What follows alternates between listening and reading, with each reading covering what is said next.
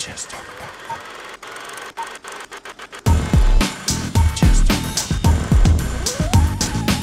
First question I would like to ask you though, how is that, especially um, at that point in your career, to have that kind of adoration? Like, and it was a global success. So, It, well, it was a rush. I mean, on I mean, just to be the first to be the the female lead, and then to be like the apple of of, you know people's eyes, and then and then have it kind of go on from there also. But Yeah. but I mean, it was. You know, it was a huge compliment. it was a huge compliment. So I was like, okay, I, you know, this is great because you know, honestly, the truth is is that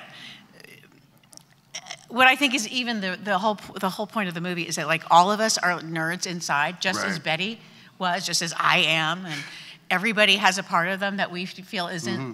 isn't like it's the way it's supposed to be in whatever version that is, and and I felt that exact same way. So I was secretly like, oh my god, I've been cast as the cheerleader, got everything together supposedly.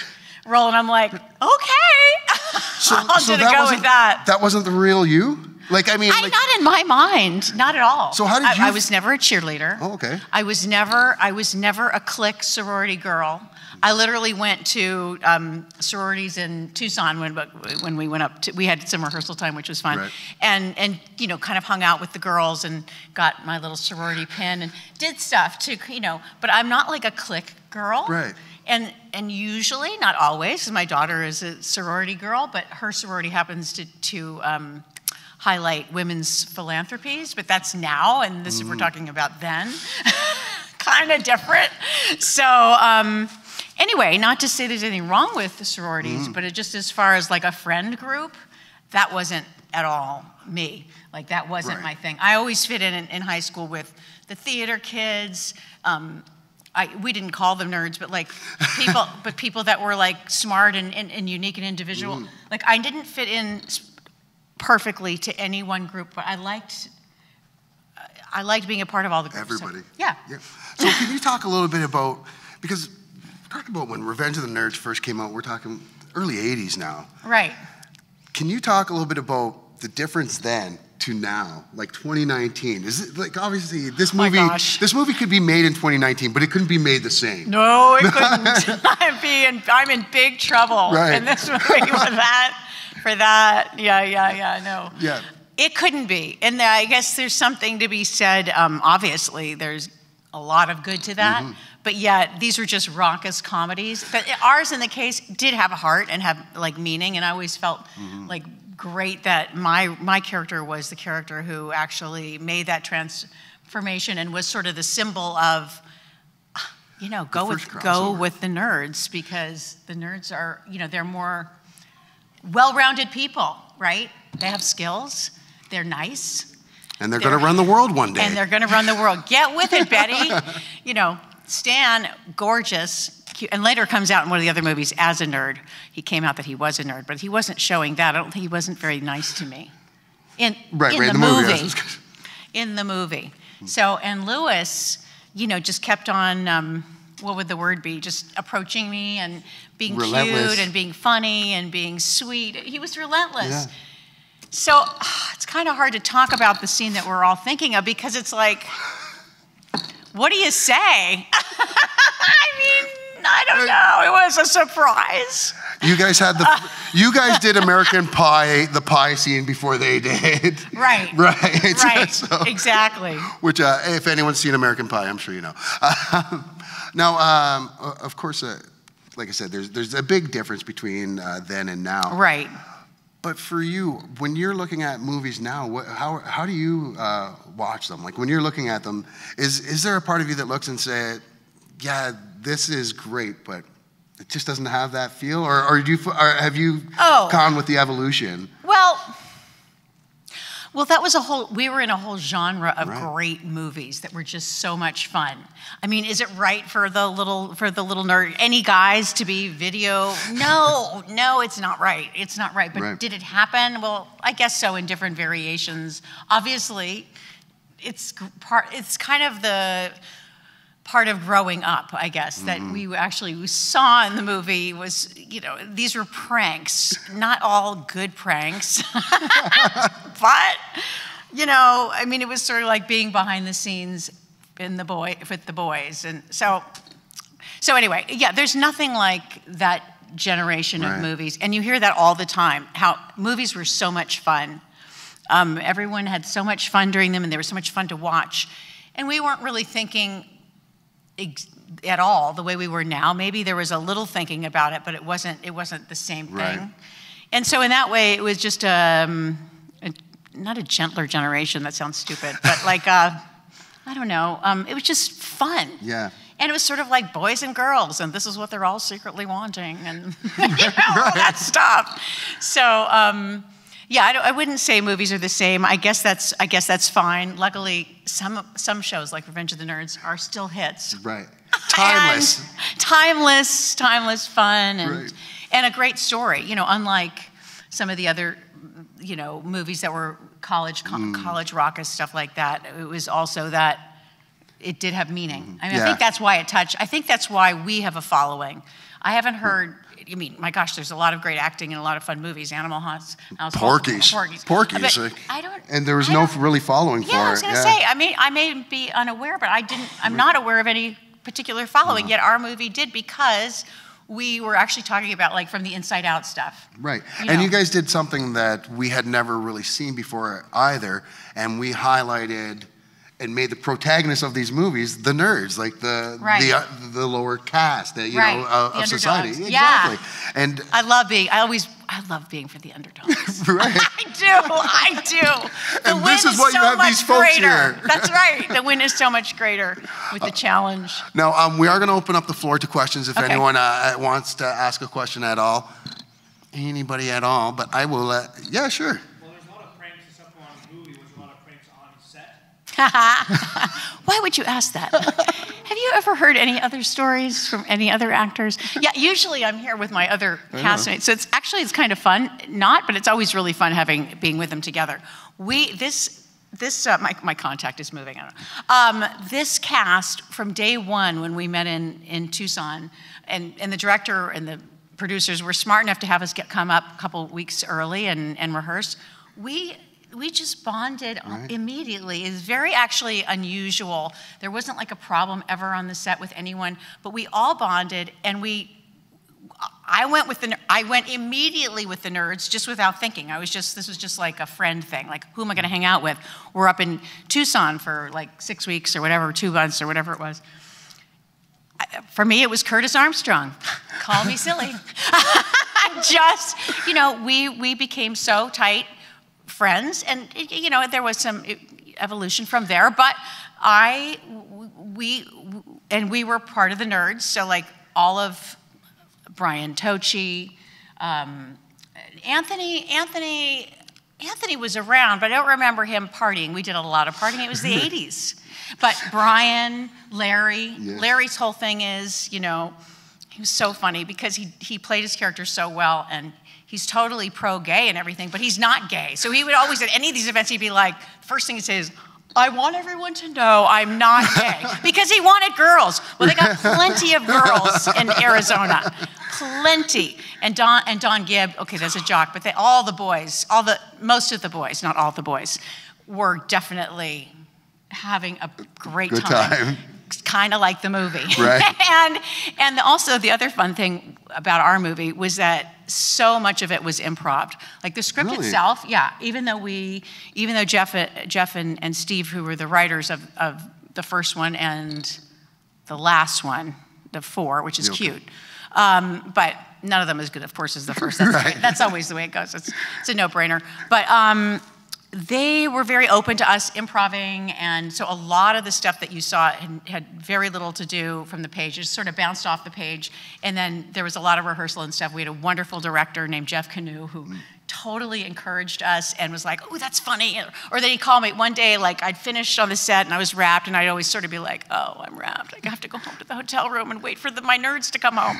that literally, that's what I'd be doing. So I get home to the hotel room, and if the production assistant calls me, hey, Julia, Jeff wants to know, Julie, I was Julie back in the day, same, same, same thing, but uh, do you, would you come back to the set? He has an idea. And I'm like, yes, of course.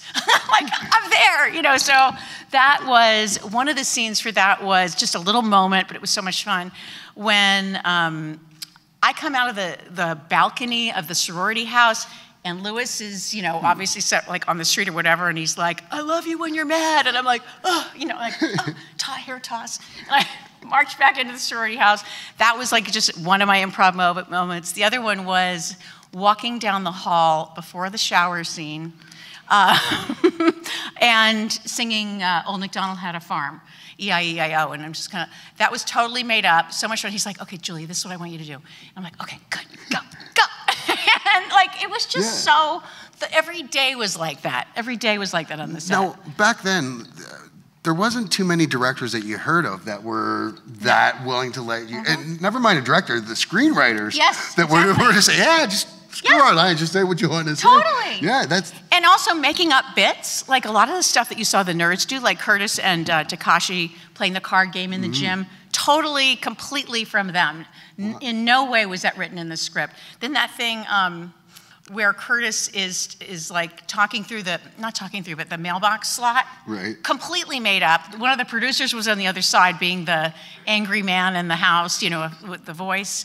That was completely improv. I mean, there was like all kinds of fun things going on that that just made it just a blast. In addition to the fact that mm. oddly we all just loved each other. Right. Like it was it was crazy. It was it was it was unusual. yeah. I was gonna say because you said no that something doesn't happen very It often. It really doesn't happen very often. I would have loved it. Michelle Meyrink, she's really fun, but she's very much, excuse me, kind of a uh, like a hermit. So like she would she would go back to her hotel room and and hang out. And she had also her boyfriend would come up to, was up in town, so they were together. But you know she doesn't do these events. I would love to see her at these events. I mean, she's so talented. They, they were so good together, her and Anthony Edwards, and and she's so fun. But it's just she's just much more quiet and to herself Right. person which makes sense being the, but I mean the character with their glasses together on the bed. Oh my God, they're so, so cute and so fun. Well, to piggyback off of his question there, uh, Oh, talking yeah. about uh, talking about pranks that happen on set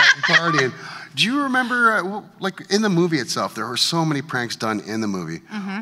What was your favorite prank in the movie? Oh, wait a minute. What pranks? Let's think about these pranks. I didn't do any prank. Well, I did do. Okay, but I don't know. I don't know what my favorite prank was. Way to put you on the- I come with the tough questions, folks. Suddenly That's right. nervous. I'm like, oh, well, let me think of all the pranks I did. Okay, uh, what pranks are you thinking of? Just out of curiosity, whether or not I, I I- I mean, honestly, anything. There was, The- the- I mean, the a mo- the litany of the, the moon. the mooning. Yeah. Oh, the- yeah. The moon was probably that. The mooning's probably the Did we best one on. Yeah. Did we really do that? Like, I can't remember. There wasn't really Did you guys? I, I didn't- I mean, didn't do a big, I remember it there being bare. must have been. Wasn't it shaded out or like I have no idea. Like I didn't show my derriere. Like I showed mine in the underwear on the bed. That was a moment that uh, anyway, supposedly my director said the stills, because they always take stills when you're shooting or at times. This was another huge compliment. I may be blushing because it was like he said to me, that photo of me sleeping on the bed with my that cute purple underwear was like he said he had to keep it under lock and key, and I'm like, really? That's so great. Honestly, I right was- there, right there is the difference between 1980s and 2019. Right there is a difference. Well, I wasn't naked either, which you know, but but anyway. That's amazing. Uh, do we have any more questions? When you first started film, did you have any inclination that this would last like this? No, we didn't. We, we didn't. None of us. None of us did. We we thought, well, well, I thought, hey, I'm thrilled. I'm the lead in the movie. I just got into California from New York, so I was like, yeah, of course I want to do that. But a lot of the guys, like, if they were here, they would tell you, or if you had met them before, they like "Ah, Revenge of the Nerds. Oh my God. Okay, how much does it pay? okay, it's a check. It's better than not working. and then it became became what it was. It really started with the rehearsal. It just started with us meeting.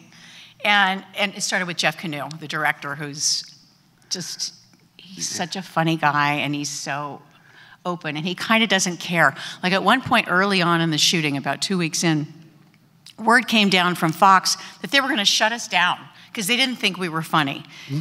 Well, I don't know what's worse than be telling you're not funny because it's hard to be funny and you're not supposed to try to be funny. So anyway, that's all very complicated. But so Jeff was like, we had this. He brought us all to this big dinner and said, you know, we've got to like pull together even more. I know we're we had already been rehearsing and we, we didn't really get it, but um, so somehow we, you know, we stayed on we stayed on shooting and like Fox didn't treat it like what it's become. Right. They didn't treat it that way at all. They they didn't advertise it well. You know, there's a lot of things that, that but yet here we are. Right.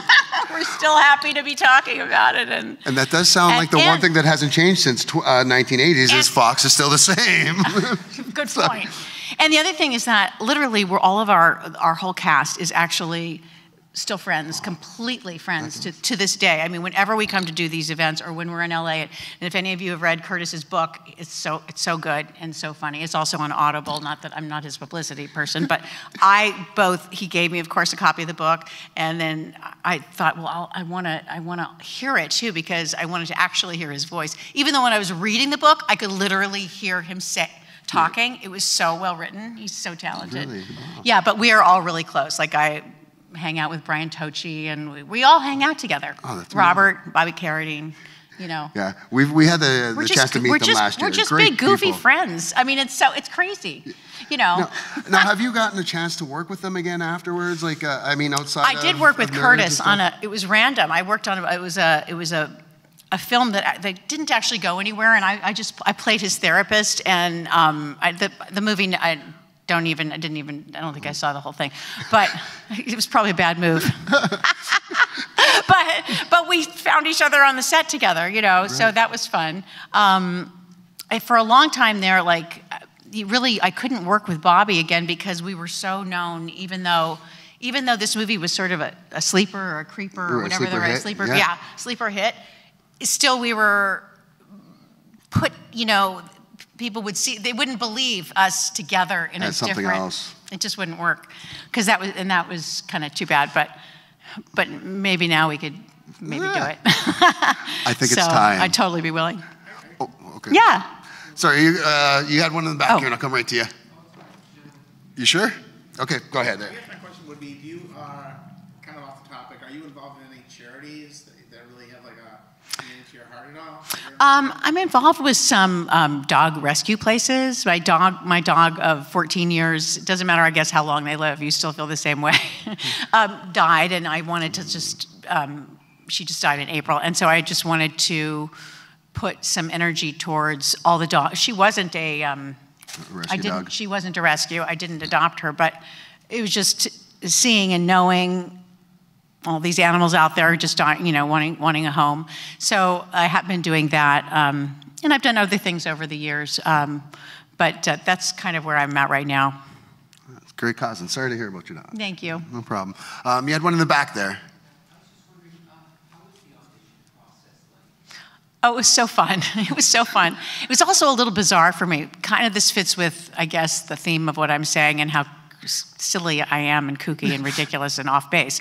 But so I went in for the audition and um, for the initial audition where you just read the beginning for the casting director, a woman named Susan Arnold, and I, I, I guess I'd auditioned for her before. So the script, again, very minimal, especially, you know, and this was one problem with the 80s. I mean, women, we have like three words, you know, in the script. It's really insulting. So you have to, so it's like, let me do something with these three words and then those two words there and then whatever. But anyway, so I read through the script. I mean, I did my audition and she's like, great, I'm going to have you come back and I want you to do it exactly like that. And I'm thinking, okay.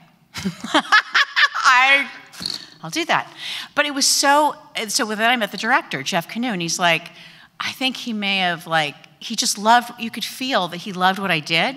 And I was just literally thinking, uh, kind of what I've said to you guys, the basis of my character, you know, like, I, I'm offended because this nerd is approaching me, and my whole thing is how I am, have been groomed or groomed myself to be, or whatever combination, you know, the cheerleader and the, I'm dating the most handsome jock, and it's all supposed to be like this. So when Lewis comes along, I'm like, well, this doesn't fit the picture. I can't be okay with him. But over time, he just creeps in. He creeps in. But anyway, so Jeff Kanew, as, as I go off topic, then uh, so but Jeff Kanew in the in the um, in the process was um, in the callbacks, of course, and he didn't really either give me any big notes, which was almost like upsetting to me because I love to be directed, and I was like. Okay, seems to be really liking what I'm doing. And then we went to a screen test situation, and he was on the other side of the camera, and it was like being in seven in heaven, like because he was playing the other role, and it was just like magic. Right. It- working with him, I was just like, I know I'm in good hands, and this is really fun. Um, so it's just sort of. Um, it was a great. It was a great experience. It was almost easier than I wanted. Is kind of what I'm trying to say. I was like, I didn't quite understand because I didn't really feel like I was the character that they seemed to think I was perfect for Right. With this. And you know i i've never been a cheerleader. You wouldn't want me to be a cheer like i did play a cheerleader in a few movies not just this one. And i got a knee injury. That is commitment to character right it there. was commitment and again I'm, I'm not i've never been a cheerleader. But anyway so um, yeah the audition process who had asked that question? Where is that person? There you are the audition process was really fun i owe it to i guess some sort of unknown part of myself and then to jeff kanew who's just so relaxing and fun to be around and he's so he so gives you things he's so good with actors it's just very relaxing and and so it was exciting. I thought it was exciting. I never thought, oh, do I want to do this? Like all my boy co stars. I'm like, yeah, I want to do this. Sure do. Now you talked you you talk a lot about Jeff Kanew and uh, about the influence he had over you, especially in this movie. Now it seems you, the two of you had a, a very strong rapport. Like Yeah. you guys like gelled like right off the bat We from day one. Did it seem that way with him and the rest of the cast as well, or is it something you found maybe was did like I did Is have a crush on was? him. I did have a crush on. Ultimately, I did have a crush on him, but it didn't. Nothing. Nothing at all Right. happened with it. Like he, we wasn't. That was nothing to do with. But I did secretly kind of became a crush that I had on him. But I didn't really tell him anything about that. you're hearing it now, Jeff? Uh, he's not surprised. But um, but um, I just think he knows people. He knows actors. He knows how to relax them. I think he's just gifted. I think I think he chose me because he felt he knew I had whatever he wanted in this, as well as the other people, and I, all the cast members were so all, all, of them so talented. But he was able to bring that out in us. Like in the screen test, I just remember feeling like I was glowing, and I was like, "Thank God." Because screen, anything, these auditions can go hmm. completely the other way with even the best made plans. So, anyway, now, did you feel you had this after your audition? Because it sounds like you had a really good audition. I knew I had it at the screen test for sure. I don't even remember who the other girls were in the room. Not, not that I, I'm, you know, it's been quite a while now, but I really don't even remember who else was around. Um, and maybe he did it, maybe he scheduled it that way. I don't know if there were like two or three others or 15 or, Or just you? or just me. No, that wasn't just me, but, but, but anyway, yeah. it was fun. Amazing. Um, do we have any other questions there, folks?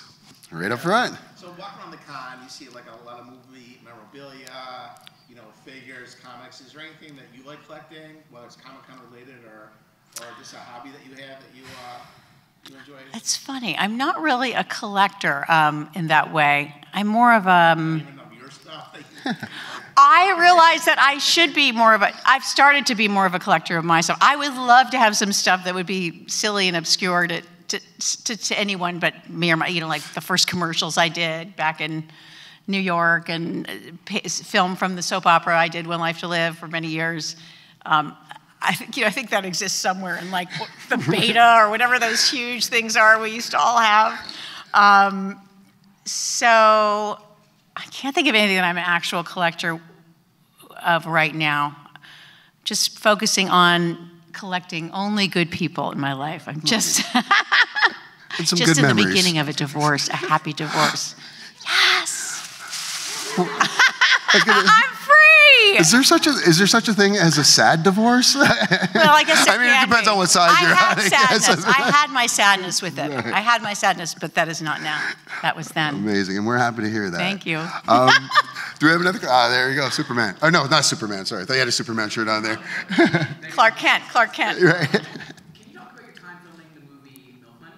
Oh my God. I was just I was struck because I'm like I, I'm a big Revenge of the Nerds fan, but I'm like gosh, I know I've seen him in something else, and I had to rack my brain for a bit what movie Well. I'm kind of impressed. It was a coming of age movie for me. I love that movie. Perfect at age when this came out, and so I just wondered if you could talk a little bit. Well, I really wasn't on the set for very long because literally all I had was that one, one little scene. I did happen to witness, uh, I hope, uh, you know, we'll keep this between us. um, but, but Ed Harris and Melanie Griffith had amazing chemistry, amazing. Wow. And they were making out before every scene. I was like, that poor makeup. You know, I'm always, I'm always like, always needing more lip gloss. But I'm not like making out Right. before each scene with. Maybe I would after if that were the case. but they were um, so hot. I was like, woo, just watch before you hit roll 'em on that one. But, and, and of course, to work with Richard Benjamin, but I really had very little to do because I was just the mom, and that was the one scene um, that I was in. Awesome. Great question. Great question. Yeah, Uh, anybody good, else? Good, like, good, me- I mean, you know, good memory, the details. Uh, anyone else? What advice would you give yourself back then today? Like, Good you know what I question. mean? Like, as a Hmm. female lead in a movie then, was there something you wish somebody had told you? There was something that I did want, which I wanted more rehearsal. Like they gave, gave a lot of rehearsal to, and I, and I love Jeff, as a clear, but there was a lot of rehearsal for the nerds, the boys, right? And I had to did my own stuff, as I was saying with the sorority. You know, I was doing my own stuff to help me as an actress. But I would have definitely said to me, ask for a rehearsal for the moon bounce thing because that was even then that scene still needed another beat the beat of you know in actor terms the beat the moment of um, it's you i mean Yeah. i didn't think these skills were stands but it's you like it needed it you know had we been able to we, which there wouldn't have been any reason we couldn't have but i didn't ask for it in, in that way, I was, I was young to Los Angeles. I was working with Bobby, who'd done a lot of movies and is from, you know, acting family. So I was sort of like, whoa. And I was still pretty nervous about those, anything that was sexual or, you know, related. So uh, that kind of um, naivete or whatever, I would definitely say to someone else or to me, you know, ask for rehearsals on this. Uh, suggest something like, don't be, don't be quiet. Just almost like a good note to any girl, not to be, you know, but, you know, ask if something feels like, oh, could this use something more, or is this is this all this scene should be? if it maybe you think i'm not sure it is then ask and fool around with it. Like he would have. I don't know why jeff didn't. And i don't i i've with humor i blame him and like gq magazine all these different things like it's jeff's fault but, but that's a good that's a really good question Amazing. I thought I saw another one over there, but no, we're good right now. All right, so we, we you talked a little bit earlier, and this is kind of something I, I would like to get in with you as Yeah. well. Um, back then, you said, you know, uh, and it was everything we saw in all 80s movies. Kelly Right. LeBrock and Weird Science, you Right. know. You get the sex symbol up there who's got, you know, and she was probably one of the females out there that you, in movies, that had a lot of lines and still Right. wasn't all that many lines. When you look Yeah. at when you look at yesteryear compared to today, do you feel uh, women are at the spot where they deserve to be, or is there still a lot of work to go? Well, I think it's such a nice difference from where it was that we're, of course, there's ways to go, but you, you're seeing you're seeing a lot a lot of good now. I mean, I think now it's it's it's being put out there in, all kinds of ways. I think it's it's well time, you know, for all that to happen. And I mean, my God, we we women have plenty to say. We all know that. for better and for worse. But I have yeah. no comment. Yeah, I bet. Exactly, exactly, exactly. Totally understand. Amazing. Uh, anyone else? All right. Pretty good. Pretty fun. Pretty. Thank uh, you so much. Thanks yeah. for coming. Thank you. This was amazing of you guys. Uh, how about just giving a nice round of applause for Julia? Applause to yourself. Some great questions out there today, guys.